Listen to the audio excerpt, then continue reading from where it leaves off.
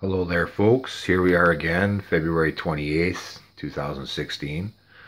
And I'm just going to show you the setup here for uh, the Neo X8H Plus again. As you can see here, I've got two of them.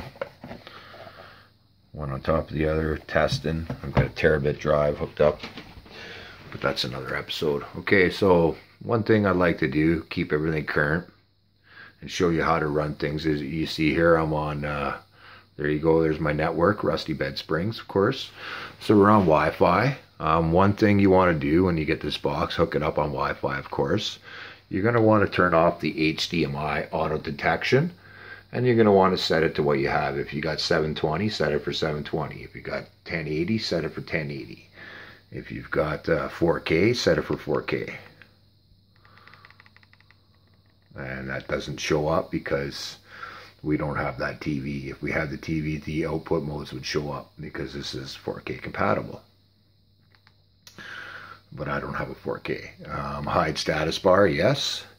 And a lot of people don't know about this display position. So once you've got your HDMI output setting, if you look on the outside of my TV, I have that little white line. I'll pull it back here. And if you notice when I go bigger, it's gone. So you just want to pull it back to where you see it on all four corners and nothing ever hides. And some people have to take it to 92, I've heard. So there's that part.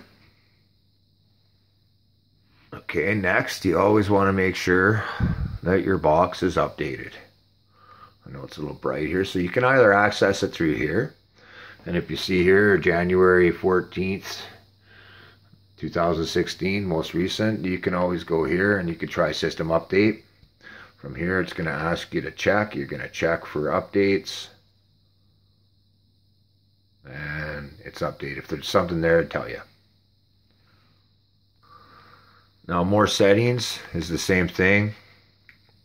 See that? There's all your settings there. I'm going to take you out of this quickly. More settings is the same thing as what you see down here in the corner, this little bolt or gear, sorry, this little gear. It's your settings again, so you can click that. That's your Wi-Fi, all your other stuff. Now you can make this a portable hotspot if it's hot, if it's hardwired. You can do that here, portable hotspot. You know, once you, once you, if you've got it hardwired, they make great portable hotspots for those uh, bad spots that don't have great signal in your house. Not sure if a lot of you knew about that. The reason I bring you here is a lot of people don't realize that you can slow down your mouse speed. You go to language and input. You're going to go all the way down out of the box. Um, your mouse pointer speed is set almost by the OK. I like to bring it down to just right around where the C is. So if you ever use an air mouse, it doesn't fly around the screen. And a lot of times your time is not right. So your date and time, when you get it, you're going to turn that off so that you could change your time zones. Or sorry, you can keep that on if you want. Um, you're going to have to change your time zone to the appropriate. Usually it comes at plus 8, so I'm in the mountain time. Um, that's about it for that. So it's just like an Android phone as well, right? If you want to drag and drop things on your menus, you use your finger or you're just like a mouse, you would go here, vice versa, you know. Um, in your settings, you have more. So say you wanted to put this icon or that icon on your screen, you would click it with your mouse and then you would drag it over to the appropriate screen. I don't want to do that, so we're going to try and get it back into uh, we can always remove it. Now, if you put something that you don't like, again, just like your Android phone, you can remove. Now, that only removes it from the screen and not your menu. To get it out of your menu, you have to remove it from here. Sorry for, uh, it's hard to point and direct at the same time, so I'm just going to use my directional pad that navigates a lot better. We're going to do a quick speed test here on Wi-Fi. Oh, nice shadow of me. And I've I've been known to seen 45 plus on the down and 10 plus on the up. Let's see what this does for us.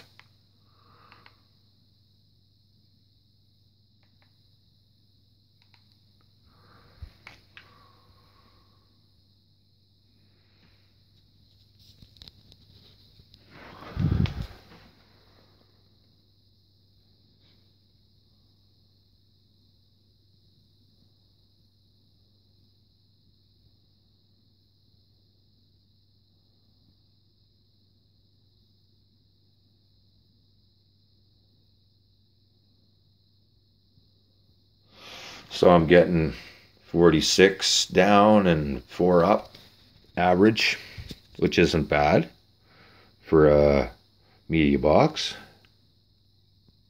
on Wi-Fi. Um, I get better results sometimes on Wi-Fi than I do on wired, believe it or not. But I got a kick-ass uh, router.